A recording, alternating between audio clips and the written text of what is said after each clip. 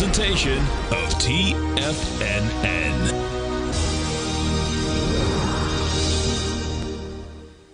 The Tom O'Brien Show is produced every business day. Tom takes your phone calls toll free at 1 877 927 6648. Internationally at 727 873 7618. Let's go to John in Orlando. Hey, John, what's going on, brother? Hey, Tom, good afternoon to you. How are you? I'm doing great, man. I want to thank you, first of all, before I ask you about the star, uh, you and Tim Ward and all the gang at TFNN. I had a really, really good year after the October call you guys made. My 401k is up 72%. Congratulations, man. Of, uh, a couple of things I made with Coinbase and other stocks that I made, and I've had a good, good year. And we appreciate you growling and prowling with us, man. That's a beautiful thing. Now, Tom O'Brien. What is going on, everyone? This is Jacob Shoup. You're watching the Tom O'Brien Show right here on TFNN. What's going on? It's about to be a long weekend, everyone. That is fantastic. I didn't want to make any trades today at all. I was kind of looking at stuff earlier and just doing my general stuff on it. Um, I don't even know why I'm looking at FormFactor right now. We'll definitely talk about them. But, uh, geez, I hope you guys are going to have a good Thursday. I got a dog sit for some people, so that's going to be fun. But, uh, it'll be good. It'll be good. the composite trading off about 0.55% right now. 19,068. It's just low volume today, right? I mean, I'm even looking at Archer a little bit because everyone is, it's just, it's gotten to the meme level, which, you know, is not, I, you know, I would say is not always a terrible, actually, wow, that did some good volume today. This morning was not. It just didn't, it didn't have anything rocking for it. Um, the Dow Jones Industrial off about 0.29% at 44,730. You have the E-mini off about 0.35% 6,017 with that SPY trading off 0.28% right under 600. Of course, we made a high yesterday of 601.33. We have the dollar somewhat strong and interestingly enough, kind of with headlines as well of things not going super well in Europe. And it looks like the French economy might be in some deep, deep problems budget crises and all that kind of stuff. We'll talk a little bit about that. I'm going to keep it, you know, uh, there's some stuff I want to look at today. Um, I want to talk a little bit about Qubit. I'm going to take a look at Red Cat, talk a little bit about seals and stuff like that, or LAES rather. But, you know, I mean, we have a long weekend here. I don't like placing trades right before holidays, and Friday's a spooky day. Half days are spooky days to try to get out of stuff like that and do anything at all. Uh, the dollar trading off about 0.74 per, uh, percent right there trading at 106.09. You have the crude oil contract trading flat right now at 68.72. Gold contract actually moving, you know, somewhat substantially today, up 0.62% at 2,662. You have copper trading up 0.74% at $4.14 on the futures contract. You have silver off, uh, man, it's getting battered compared to the other ones. Uh, off about 0.95% at 30.54. Mike, if you're listening, I'm sorry, brother, but it's going to come back. Uh, Russell doing okay today. Again, relatively strong compared to the other indices. Uh, trading up 0.11% right now at 2,435. Let's see what we got rocking. Disney up, bang, yeah. Up 1.64% at 117.34. Lucid doing not too much. Steel Dynamics not too much. Nothing doing anything really at all. Uh, some of the big news right now is uh, consumer prices yeah, you know, kind of unchanged at least, right? And you know, and I, I do think with, with these tariffs that are going to come out, they are tariffs are inflationary. They they just are, right?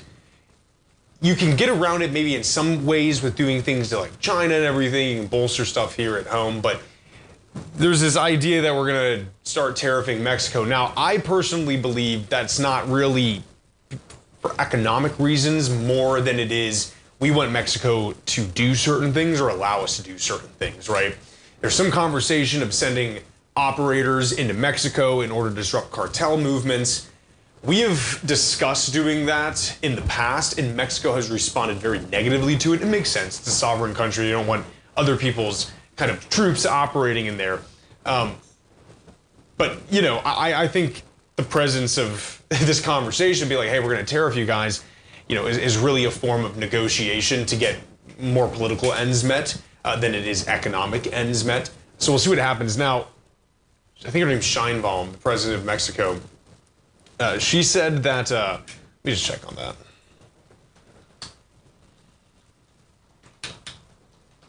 Let me see here. Yeah, Sheinbaum, I'm pretty sure.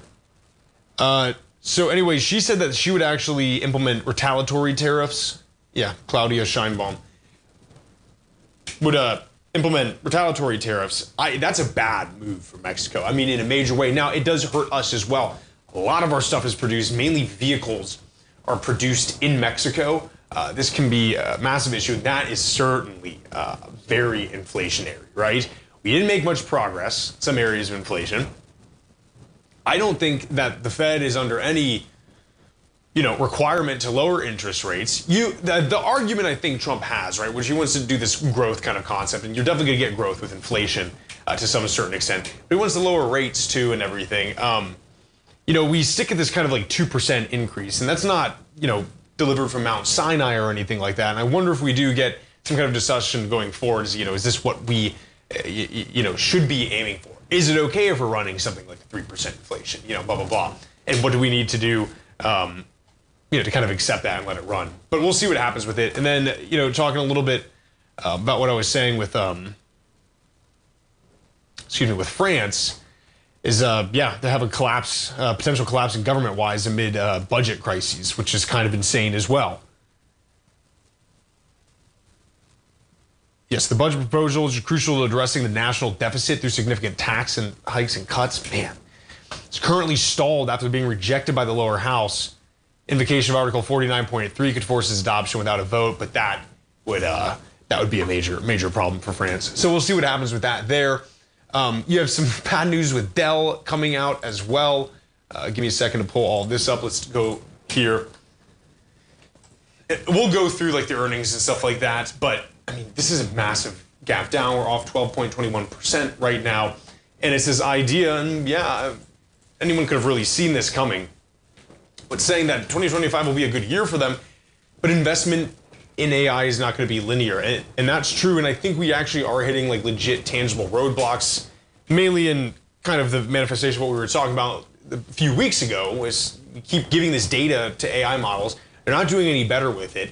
The data, we're running out of good quality data. And so, you know, these are roadblocks we have to get through, right? I mean, we were talking about how Jensen Huang was saying they can't add any more transistors onto these chips. And so now they need to improve software. I mean, so this now extends the horizon to where you get, you know, I, I don't know if the goal of these companies is really AGI or anything like that, but at least making the inference worthwhile enough, uh, you know, to dump a, a ton of money into it and then warrants the investment that's going on right now.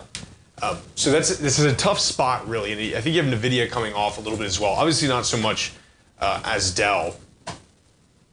So, y'all, 1.49%. Let's see SMCI. Oh, it's up 2.24%, of course. Yeah, folks, there, there. I'll be right back.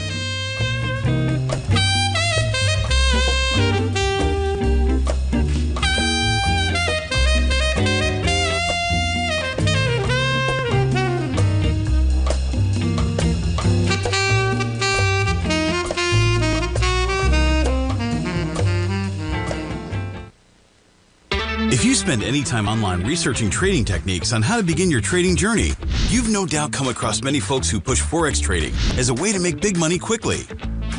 Unfortunately, there are equally as many stories of these so-called Forex professionals just looking to make a quick buck off aspiring traders without actually teaching the ins and outs of the Forex market. This is what sets Teddy Keckstack's The Tiger Forex Report off the riffraff. Every Monday, former Chicago Mercantile Exchange member and author Teddy Keckstad releases his Tiger Forex Report newsletter, where he dives into the complex world of Forex and takes time to actually teach you his methods that have made him so successful in a fast paced and rewarding world of Forex trading. Furthermore, all subscribers receive access to archived live streams of Teddy's, where he provides university level education to help you in Forex trading. All first time subscribers receive a 30 day money back guarantee. So, what are you waiting for? Forex awaits.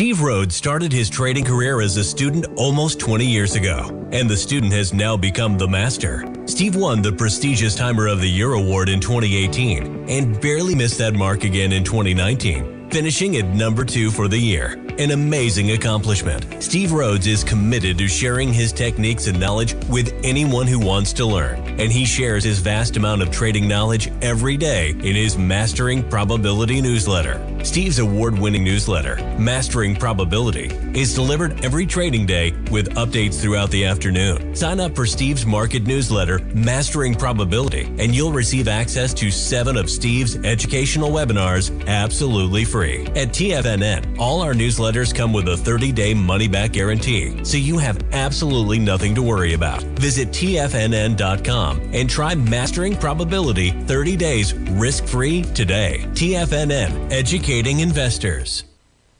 Building wealth trading in the stock market seems impossible to most people. They think it's too volatile and risky.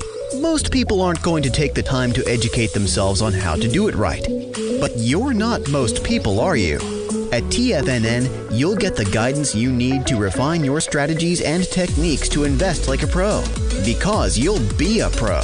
All TFNN subscriptions, books, software, and courses are available at TFNN.com. And I'm even going to tell you how to get them for less. Use TFNN's Tiger Dollars and you'll get up to a 20% bonus on your purchase. And once you apply them to your account, Tiger Dollars are automatically used for all future or recurring charges. Tiger Dollars also never expire, are fully transferable, and are a great way to add savings to your newsletters or services. Become the investor you were born to be at TFNN.com. TFNN, educating investors.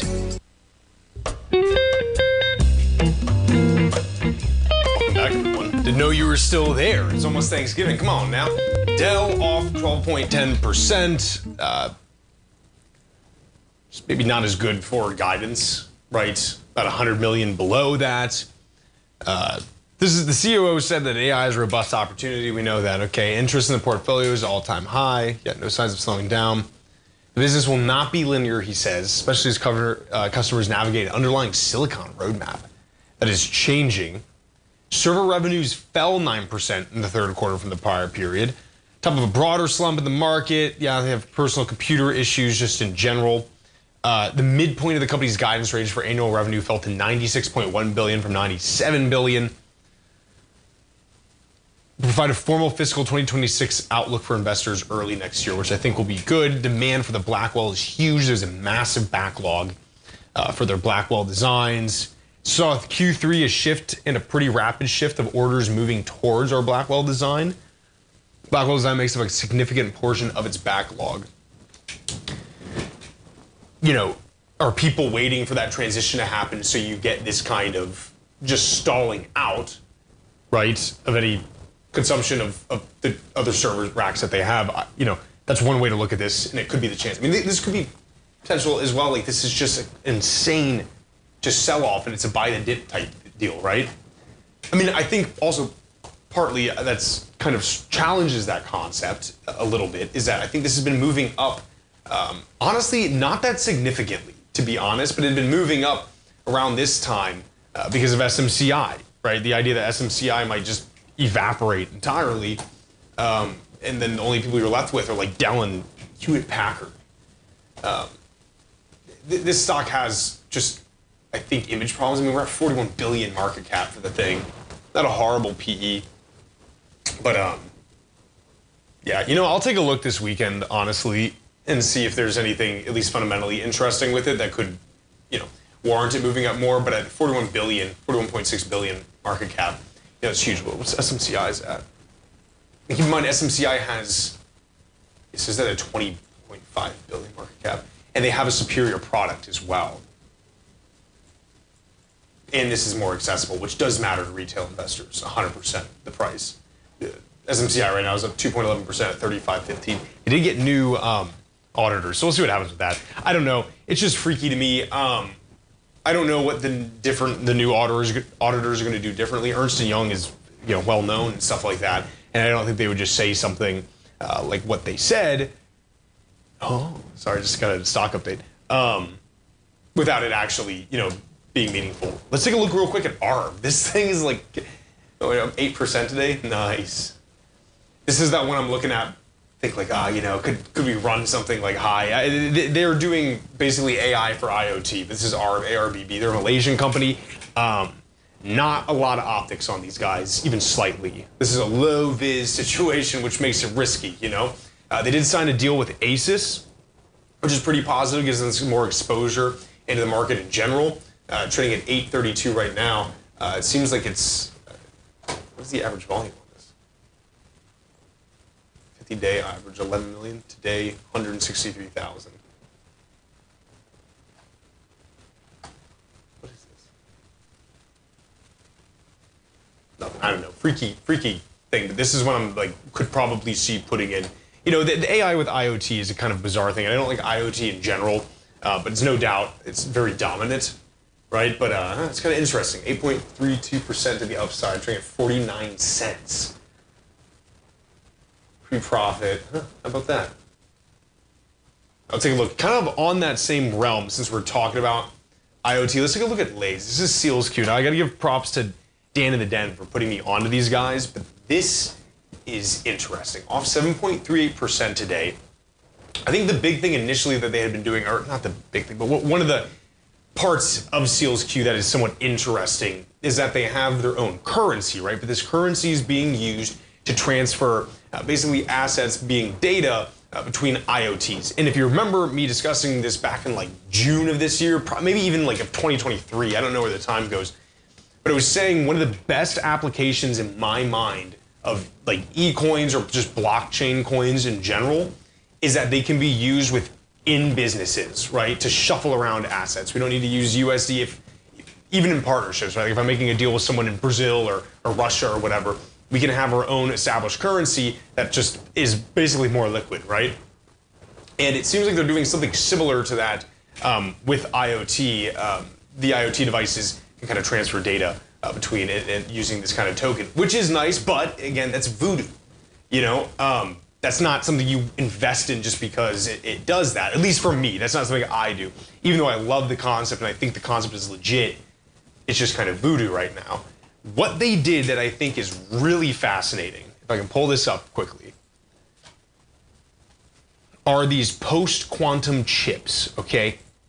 So we were discussing, again, a little while ago. This is, this honestly is pretty kind of crazy. Let me see if I can get this up. CPI TSM. This is from the NSA about trusted platform module use cases. Talking a little, this is just general trusted platform modules, right? That's like basically hardware that does like encryption, holds the keys and stuff like that in your devices. All devices have TPMs, uh, but it, it, SealsQ has developed a TPM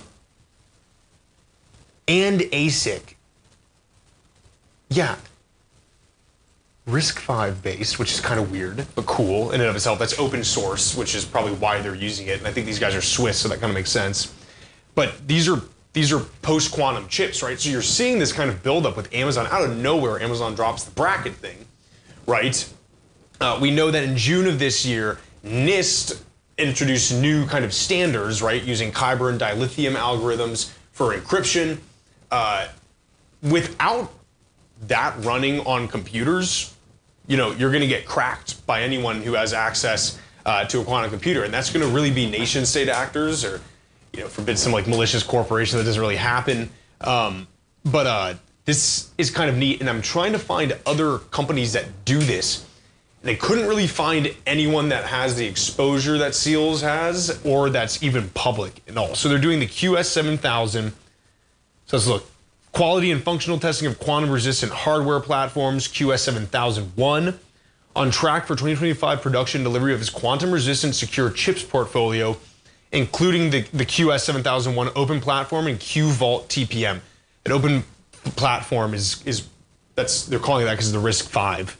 Um, and then the QVault TPM platform with uh, Seals 5 plus certification that supports Kyber and dilithium algorithms.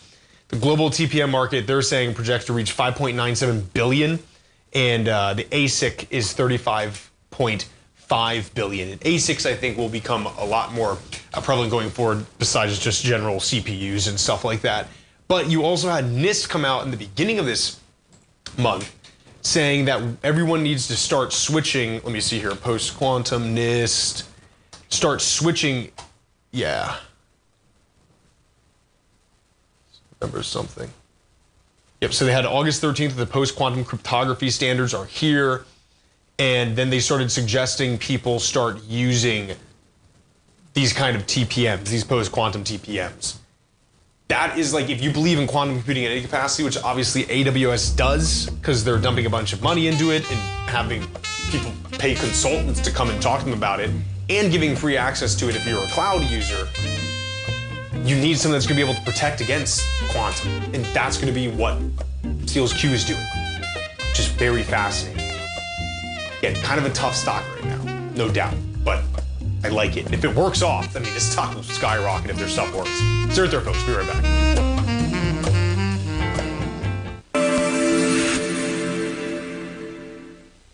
Many trading newsletters attempt to focus on a narrow set of equities or commodities. While this works for some, it oftentimes misses many opportunities that possess huge gain potential. But how is an independent trader supposed to scan the entire market looking for these hidden opportunities? One simple answer, the opening call newsletter. Basil Chapman, developer of the Chapman Wave trading methodology, has been trading the markets for longer than most trading influencers have been alive. And over that time, he has honed his methodology in order to accurately call movements in a wide range of equities, from semiconductors to uranium to key indices and so much more. Basil is old school, taking the time to educate the trader while also giving his insights into key indices, selective stocks, and more. Opening call subscribers also receive access to dozens of educational live streams that can be accessed at any time for your edification. All first-time subscribers receive a 30-day money-back guarantee. So ignore the pop trading influencers and start learning time-tested technical analysis. Steve Rhodes started his trading career as a student almost 20 years ago, and the student has now become the master. Steve won the prestigious Timer of the Year award in 2018 and barely missed that mark again in 2019, finishing at number two for the year. An amazing accomplishment. Steve Rhodes is committed to sharing his techniques and knowledge with anyone who wants to learn, and he shares his vast amount of trading knowledge every day in his Mastering Probability newsletter. Steve's award winning newsletter, Mastering Probability, is delivered every trading day with updates throughout the afternoon. Sign up for Steve's market newsletter, Mastering Probability, and you'll receive access to seven of Steve's educational webinars absolutely free. At TFNN, all our newsletters come with a 30 day money back guarantee, so you have absolutely nothing to worry about. Visit TFNN.com and try Mastering Probability 30 days risk free today. TFNN, educating investors. The consistency you're looking for is closer than you think.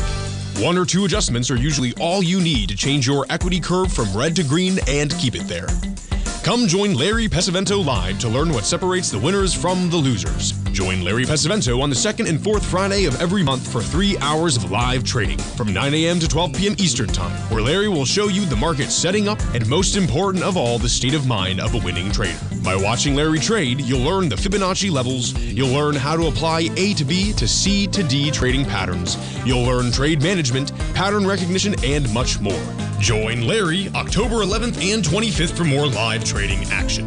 Your purchase goes towards two sessions, so make sure to sign up now so you don't miss a chance to sit next to Larry as he trades the market live. For all information and reserve your spot today, go to the front page of TFNN.com. TFNN, educating investors. This portion of the Tom O'Brien Show is brought to you by Direxion's daily leveraged and inverse ETFs. Whether you're a bull or a bear, you choose the direction. Visit Direxion.com. Investing in the funds involves significant risk and should only be utilized by investors who understand the impact of leverage and actively monitor their portfolio. They are not designed to track the underlying index or security for more than a day. Before investing, carefully consider a fund's investment objective, risk, charges, and expenses contained in the prospectus available at Direxion.com. Read carefully. Distributor Foreside Fund Services, LLC. Welcome back, everyone. Jacob Shoup, you're watching the Tom O'Brien Show right here on TFNN. Talking about SealsQ Corp before we went to the break. And my uh, WiseKey and Seals Q Corp correspondent is telling me they have servers deep in the Alps. So do with that information what you will, because that's it's kind of cool. It's kind of cool. Um, all right, let's let's keep moving on here. Um, I guess I can kind of talk about Red Cat right now. Let me see here. These guys, some freaky stuff. Now I ran a really, really, really kind of primary financial analysis, uh, fundamental analysis. It's not really that good, honestly, to be honest. I was doing this morning while I was doing some other work as well. You have an enterprise value of this company of like 623 billion. Debt, cash to debt is actually pretty good. Uh, they have almost 1,300% more cash than debt, at least standing right now. Your market cap, yeah, 630 billion. Excuse me, I'm saying billion. I mean million. It's. I'm ready for the weekend, no doubt. Um, now this is probably higher since trading at 917. Man, it, this is crazy. You have less volume today. What does this stock do? Why are you talking about this, Jacob? Because those don't sound very, you know, impressive in any capacity. You had 58.83% growth over the last three months, over the last quarter, compared to the quarter prior. But it cost them, yeah, 107% gain in, in, in the cost of goods sold. So that's kind of tough, right? So RCAT, what these guys are doing is making drones, okay? And that doesn't really interest me in and of itself in any capacity. And they're personal drones as well. But I just made a deal with the US government, particularly the Army. Give me one second to get the exacts on it. So they had a production selection for the US Army short range reconnaissance program. And if you kind of think about what we've seen over the past few years with really Russia and Ukraine, is the it is a platform heavy war, but not in the way Russia would have hoped it to be, right? Russia is a very platform, America is a platform heavy military, right? Ukrainians, insurgencies, resistance groups usually are not platform heavy in any capacity, but they've started to use these drones. I'm sure you guys have seen videos of it, you've heard at least about it, that a lot of this war is being fought by people carrying these makeshift drones and dropping you know, makeshift payloads, right? I mean, it could even be like a grenade, and they figured out how to rig it that when they drop the hand, the, the pin gets uh, taken out, grenade's activated, and it does it. And this has been a, a massive issue uh, for the Russians in a major way, so much so that they've started deploying uh, jammers out there. They give uh, even like duck rifles, like your old Brownings for trap shooting. That is being deployed in, in every unit. This is a major problem at least for the Russians, but it's just more so a major evolution in how warfare operates, right? So you have companies, you know, such as Anduril. Okay, Anduril has understood this, and they've developed uh, drones that can basically snipe other drones out of the sky. They are reusable, pretty cool. They um, pattern off of like Peregrine Falcons, which like right on, you know, that's pretty sweet. And RCAT, they actually initially were beat out by a company called Skydio or Skidio. I'm assuming it's Skydio because they're drones um, for this. But it, it it turned out that the Skydio drones were, were kind of vulnerable to being jammed by the Russians, and it didn't work. And the Ukrainians started using Chinese-made drones, which is not what always you really want because you don't know what's in that tech, right? And we've spoken about you know issues with with foreign tech being connected up to certain networks, having any kind of um, you know data gathering and stuff like that. So what's interesting about RCAT, this is their Teal drone, right? Or they're from Teal. This is a company they bought and kind of absorbed into it. The thing doesn't communicate with GPS for quite a while, right? So you're not getting issues necessarily with jamming. It maps out the area it's in. It can move around uh, within that memory, uh, which is very interesting. Again, that makes them not super susceptible to that kind of jamming. Uh, and obviously, can be deployed by a single individual. That is really neat. Uh, I think we're going to build this out not only for the military, right? Because you might get some reduction in conflict. I, I, think with the next administration coming in. Uh, now, I say that only based on what happened in the past time he was he was president. So that obviously can change, and it's been four years, right? But um, you know, we are still building out this border in, in a major way. That Anduril kind of has a, a hold on that, but RCAT's drones have been purchased uh, for use at the border. It does intelligence, surveillance, reconnaissance, ISR kind of deals with this, and they can be um, they can be weaponized.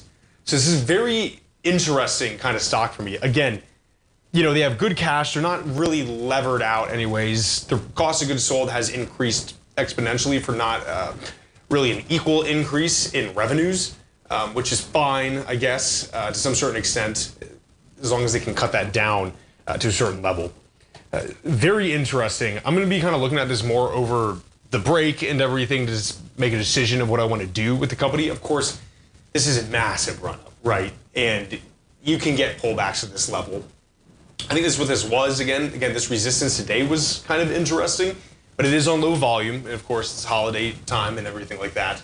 Um, you have a high right now of uh, 962, and we're trading under that high right now at nine dollars and eleven cents, trading up 9.08% uh, for the day, uh, which is pretty nuts because I saw it earlier and I was like, I don't want to do this, but it would have been good. And Friday, I just get nervous that people resituate their kind of portfolios. On the same kind of realm, now this gets into the, the meme game quite a bit, is, is Archer Aviation, okay? These guys are doing the eVTOLs, right? So uh, these are going to be air taxis. Of course, we're talking about Joby, and Joby got FAA approval in some capacity. Um, and so you ask, you know, Joby actually has better financials in, in a major way. What are we at? Up 1.39% today, where Archer is up 13.9%. That's because Archer has that curb appeal to it uh, within the meme realm, which kind of is unfortunate because you always want to think about companies in a more fundamental sense, but you can't argue with stuff like this, right? And if Archer gets this kind of exposure, and we, we saw when Archer got exposure initially, they started getting funding from, I think Abu Dhabi funds them right now, um, just as uh, I believe Dubai funds Joby. And so, you know, we might be really getting, especially with FAA approval in some certain areas. I think, I mean, did we make like an all time high today? At least on the year we did. No. No.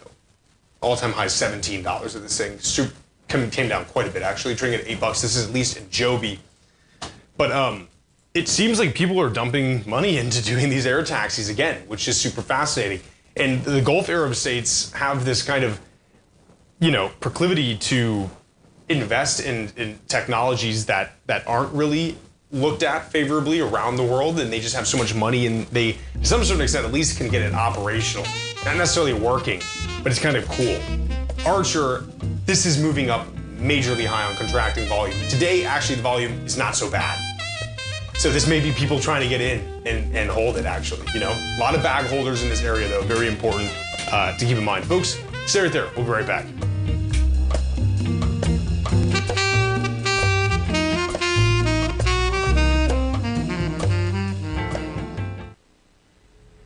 If you're looking for potential trading setups in the stock market, then Rocket Equities and Options Report is a newsletter you should try.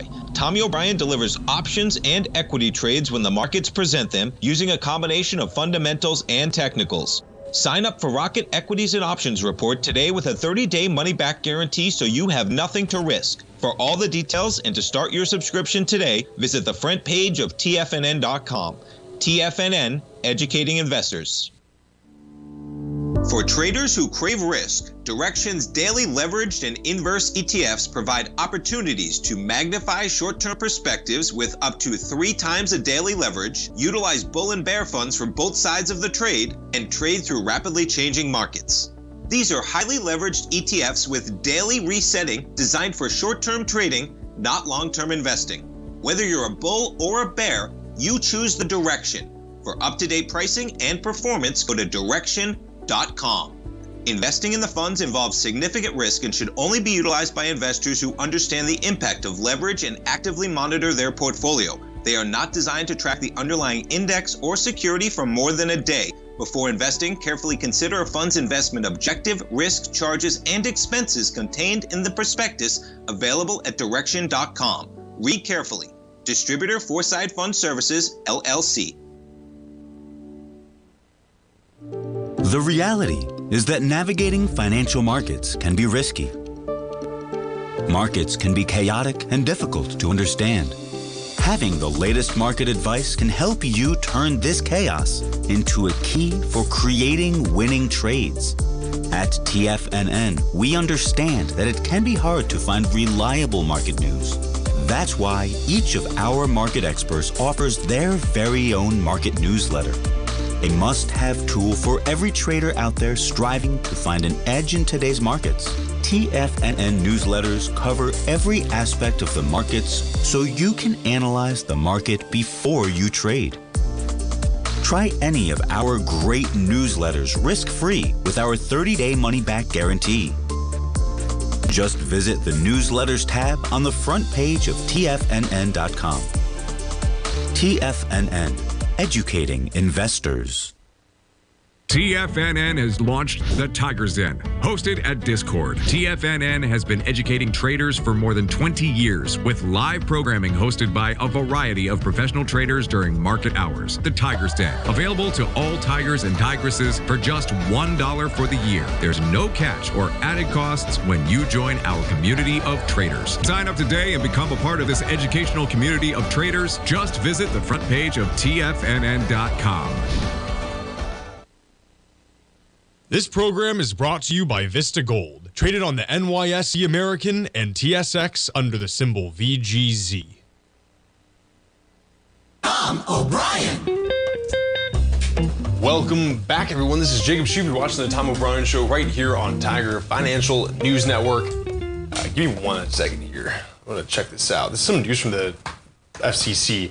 Remember when I was doing that kind of like ridiculous sketch on low Earth orbit that Starlink does? Well, this is actually kind of cool. And we had the hurricane come through, and I was like, why don't we all just communicate via cellular, or excuse me, via satellite? Um, there's obviously some issues with that, but with low Earth orbit, uh, it might not be as bad. T-Mobile right now, TMUS, trading up 0.6% at $246.40. The FCC just approved the Starlink plan for cellular phone service uh, with some limits. So this is going to be LEO cell service, which is pretty cool. Uh, the approval lets Starlink and T-Mobile move ahead with their plan to provide satellite services to phones in cellular dead spots. SpaceX is authorized to use the 1910 to 1915 megahertz Earth to space and 990 95 uh, bands for uh, yeah for lease agreement with T-Mobile. Through its lease arrangement, T-Mobile SpaceX's Gen 2 Starlink satellites can enable consumers outside of the range of T-Mobile's network to be connected while using their existing devices. It makes me want to like almost move into T-Mobile in a major way. It was cool that Apple allowed satellite calling uh, during the hurricanes in certain areas and flooding as well. Uh, when I was in Cleveland this past weekend, I was with one of my buddies. He's a he's a tech guy, and he had actually bought a Starlink. And so you know we're out there in the freezing sleet. I think we had drank a little bit or something, and then we set up this we set up this satellite uh, dish, and it was pretty cool. I mean, it took a little bit of time to like update. That is one of the things that actually is cool about Starlink, is they have constant service updates. So I mean, this thing's around to say clearly it is right, um, but it it was a really neat process. The the entire thing was actually pretty cool. Is anything else? Granted, Starlink's request to provide cell services outside of the United States. That's good for Starlink as well. Obviously, we can't really get much exposure to them, um, but I, this is very neat. And that's T-Mobile. Now, it doesn't really do much for T-Mobile in any major way, right? Uh, but it is very cool for Starlink. And I wonder if there'll ever be a time where, you know, Starlink goes uh, kind of public in that sense. On that same way, we're talking about Starlink having these constant updates. It can be kind of slow, but it is still very neat. We can talk in the realm of smart gadgets just just a tad, um, because I think it's kind of interesting and something for you to watch out for as we're approaching, you know, Black Friday and Christmas and stuff like that. Um, but a lot of the times when you get these smart gadgets, they, you know, what can end up happening is that service for them just kind of stops, right? This becomes an issue mainly, uh, in my opinion, for security uh, purposes, but it can also just be bad, right? And, and you end up wasting your money because the thing doesn't do anything. So the FTC is ruling that this might actually be illegal for them, which is kind of interesting. So it released its statement after examining 184 smart products across 64 uh, product categories. These are soundbars, doorbells, smartphones, home appliances, so on and so forth. Among the devices researched, the majority of did not disclose the connected device support duration or the end date on their web page. This is something to be cognizant of because you can buy this thing and then eventually it just becomes bricked and doesn't do anything properly. Uh, this 11.4% of the devices examined shared the software support updates, which is very fascinating. So keep that in mind when you're buying something and, and, and think about what you're doing when you're buying smart devices in any major way. Uh, I want to talk a tad about JP Morgan uh, and their analysis that they had as well for the coming year. I think with everything I was talking about earlier with inflation, I get you know we've had such absurd growth in the market this year, right? And even the year prior. And it's kind of hard to see that continue to go on, especially if we have to, you know, God forbid, raise interest rates um, if anything inflationary comes our way. And it's sad as well because, you know, with things like Rocket Labs and Qubit and all this kind of different stuff, um, and IonQ and everything, I mean, you're not going to see those like 40, like all the time or as frequently, those 40% gains on earnings, which is a shame, right? I mean, we're getting this almost like a melt up point to some certain capacity. Uh, so JPM is actually setting their price target for 2025 at 6,500. We're just tagging 600 right now, at least in the SPY. We're under right now at 598, uh, 60. And so that's a, you know, pretty extreme contraction, I would say, at least from what we've been doing prior, which is uh, somewhat unfortunate. You have some movement as well by um, Warren Buffett in, into cash again, which is kind of interesting.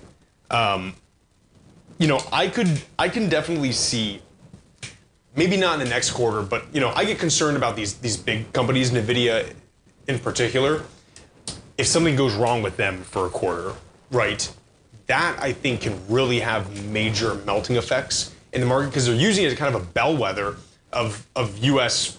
economic growth, right? I mean, if you're, you're buying Nvidia, you're scaling up, or you're preparing to scale up at least. You're dumping a lot of money into it. I have just a fear that what Nvidia is trying to do with their Blackwell GPUs is not going to be as seamless, I think, as people say it will be, right? This could create a lot of backlogs. It can really slow down the process here. And what I mean is that them casting the GPUs together, right? Like on the die, is supposed to get away from having to get stuff on and off circuit constantly, um, but it's overheating racks.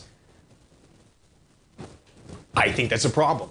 I could see them being like, you know, we, we can't get this stuff any better right now. It's heating up. We're not sure why. We have to, in some capacity, make it so these things are yielded together, right? Just makes them more efficient um, to maintain any kind of like growth edge. And uh, I think they're going to run into issues with it. I think they already have run into issues with it. I think there's murmurings of it, but I, I can see a realm where things get get tough. And I, I think Huang's discussion about you know, not being able to fit any more transistors on it. I mean, what he means by that is that the hardware is not going to get any better at where they're at right now. You know, bar some massive, you know, kind of revolution um, in chip design, they're not gonna they're not gonna get any better hardware wise, right? Now, of course, you could go to something else like into photonics or you know the TFLN, what Qubit's doing and stuff like that. Um, but it's almost like he's soft prepping. I I took it this way soft prepping in a sense of being like, we're just going to work on the software. We'll make the software better. We'll make that run more efficiently. That's weird because it's saying we've hit a physical, a legit physical limit of how much better we can make this thing. And so now we got to go into the internal. Um, I don't know. That's kind of my opinion on it. And I wonder if you get some bad forward guidance from NVIDIA, like some real bad, it because this is not going to be linear in any capacity. And everyone's reaction to Dell saying that, you know, is kind of nuts in and of itself. Um, but you're going to run into these roadblocks. I mean, we're pushing these like insane limits of of physics right now, and uh, it becomes an issue. And so, an eight percent like tough. I, I, don't have, you know, any target percent increase in the SPY for next year, uh, but whatever push we're doing, which we could easily run. I mean, this 60, this 600 level is absolutely resistance right now, right? We tried to hit it, or we hit it briefly on November 11th, came right back down rejected that gap up, and then right back up to 600. And now we're facing resistance there again. So who knows? I mean, do we test, right? Do we consolidate around here? Do we test this kind of gap up again? I, I would say no, right? Kind of low volume. I mean, this was a high volume move to the downside, uh, but then consolidated on, on, you know, no insane volume and, and came right back up. I just I think that fundamentals drives this thing next year. So when your market gets this hiccup, right, and we don't have any new technology that we can focus on. You know, maybe quantum comes in and that can kind of take the light and we get a major run up in quantum next year, which would be cool. And I could totally see that being viable. Um, but as things are now, totally not linear growth into next year. And I think we've already seeing, again, whispers of some ceilings being hit in this realm. So, folks, stay right there. We'll be right back for a short segment. We'll get you sent home.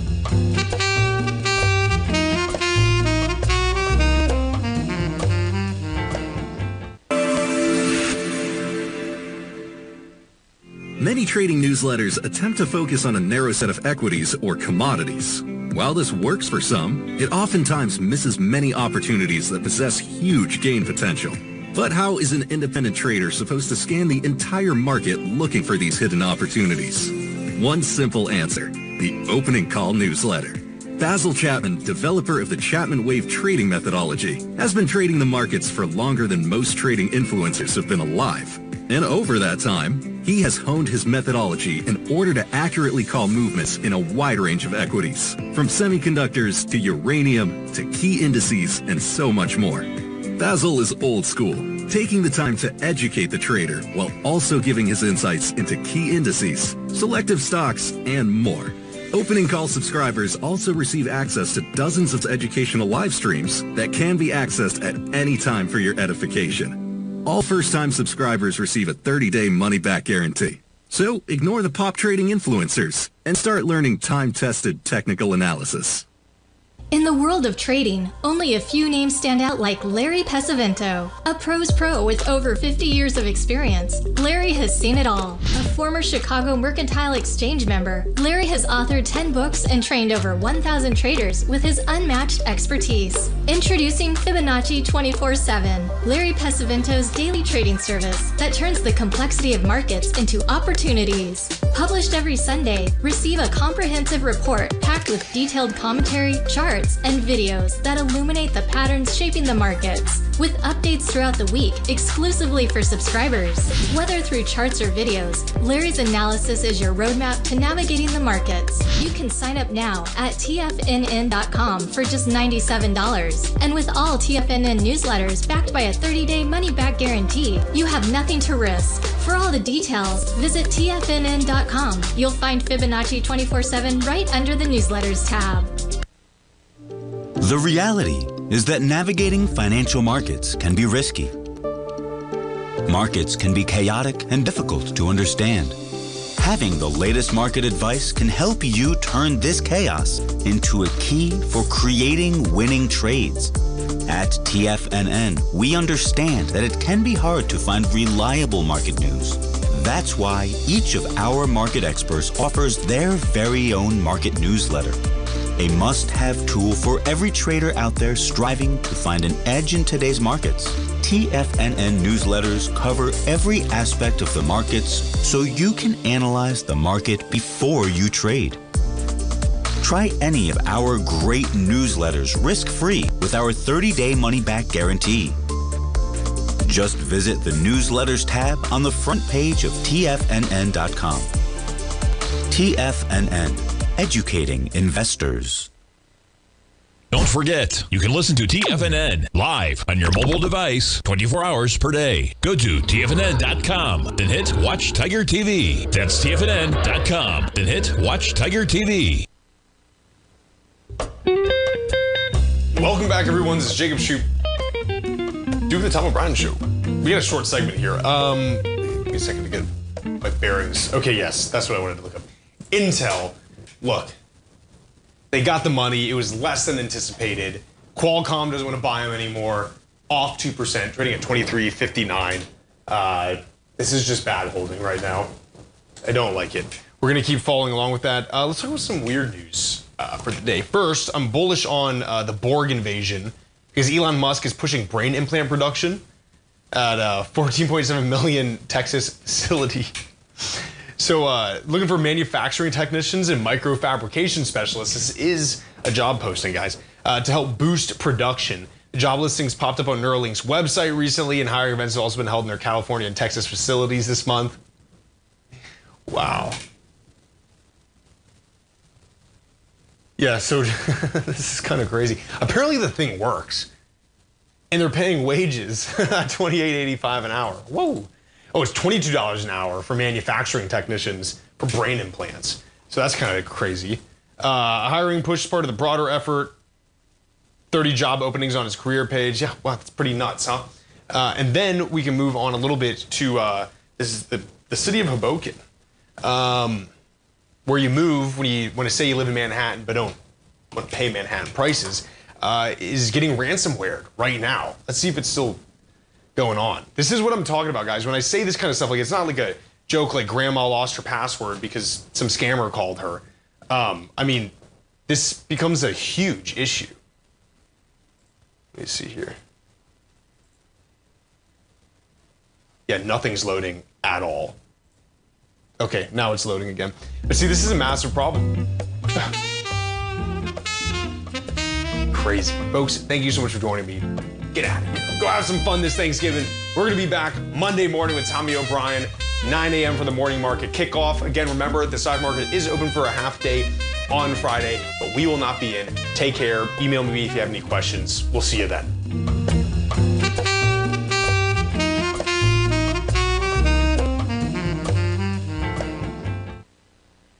building